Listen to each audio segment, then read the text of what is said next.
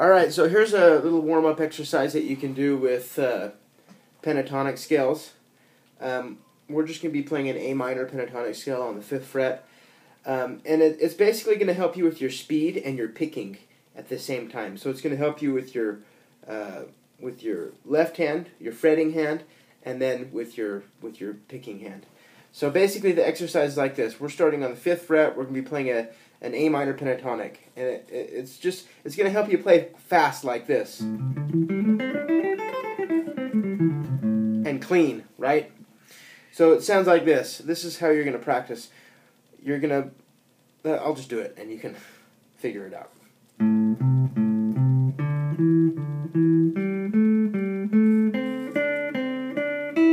Notice my picking hand. I'll go back up.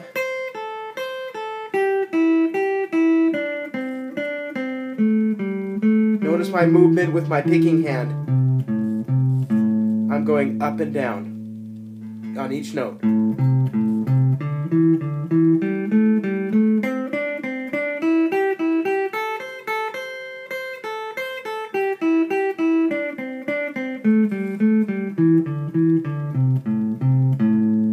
Hopefully that'll help. It'll it'll help with speed.